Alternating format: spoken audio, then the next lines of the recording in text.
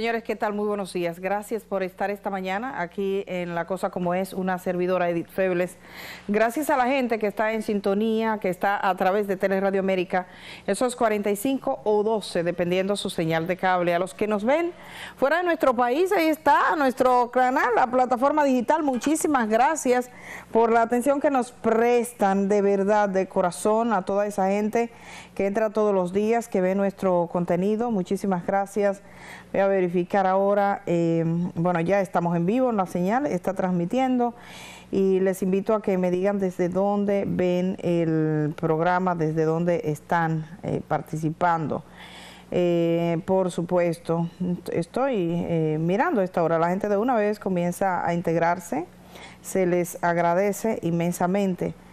Y bueno, eh, muy buenos días Rigoberto, buenos días Valentina Costa, muy buenos días desde Austria. Ah, ella la, que escribía desde Austria hoy está ahí desde el primer momento, dice, bueno, sí, eh, muchísimas gracias por la atención.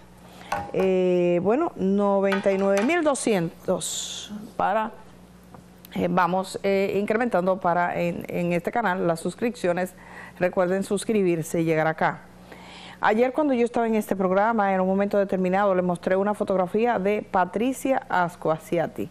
Patricia Ascoasiati es eh, coreógrafa, bailarina, una persona que es una referencia en el mundo cultural de la República Dominicana. Les comentaba que a esa hora de la mañana los periódicos dominicanos reportaban que Patricia había tenido un accidente, que iba acompañada de una también bailarina y que habían tenido un accidente, que la otra había salido bien, pero que Patricia había salido con lesiones. Patricia Ascoasiati se encuentra en este momento en el Hospital General Plaza de la Salud. Esta tarde será sometida a una cirugía, es una cirugía múltiple, su estado es un tanto delicado porque un vehículo la atropelló y después le pasó por encima otra vez.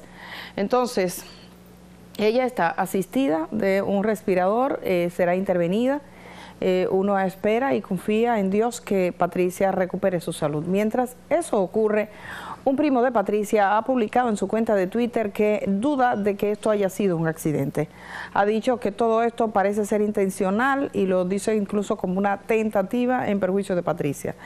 Eh, es un caso que, supongo, eh, o no supongo, quiero decirles, quiero confirmar que la Policía Nacional está investigando, un coronel del Departamento de Investigaciones Criminales estaba anoche en el hospital, se están investigando, también está investigando el Ministerio Público de Villa Altagracia.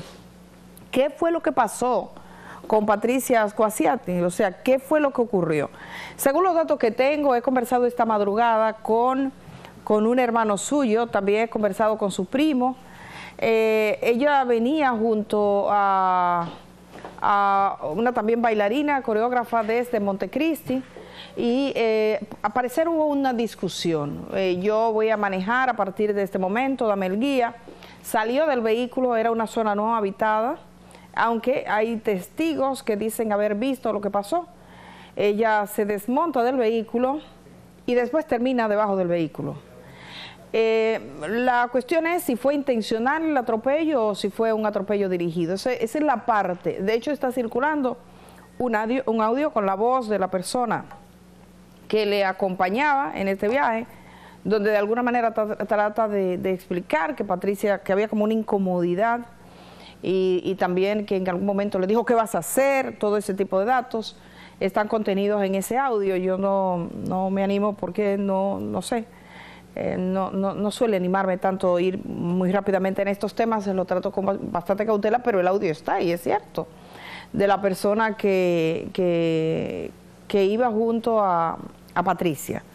Entonces, la gente que estaba en el entorno logró sacarla debajo del vehículo utilizando los gatos cuando usted cuando se le pincha una rueda, levantando el vehículo para sacarla. Eso es una cosa muy dura, de verdad, muy dura su estado eh, es delicado, sin embargo, esta tarde será intervenida y vamos a ver qué ocurre. Esperamos que Patricia logre ponerse bien, pero recibió daños en distintas partes del cuerpo. Llegó una unidad del 911 que llamaron las personas que estaban ahí, se fueron con ella y la llevaron al, al Calventi primero y posteriormente a la Plaza de la Salud.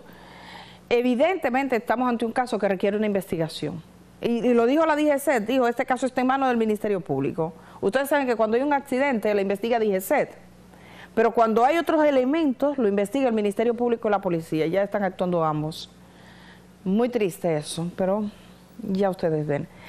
Miren, recientemente yo vi una publicación que llegó de un portal de internet, parece que de una provincia, creo, sí, que era de una provincia, que decía lo siguiente, el doctor Guido Gómez Mazara revela que existe una campaña articulada para difamar al periodista Uchilora.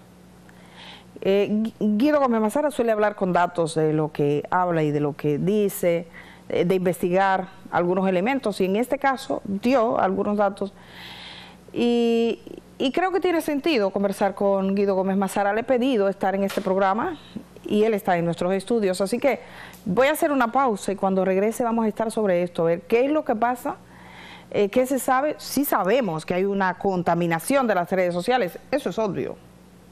Pero vamos a ver qué tan articulado va eso y quiénes podrían estar detrás. Él lo investigado. Voy a la pausa y regreso de una vez.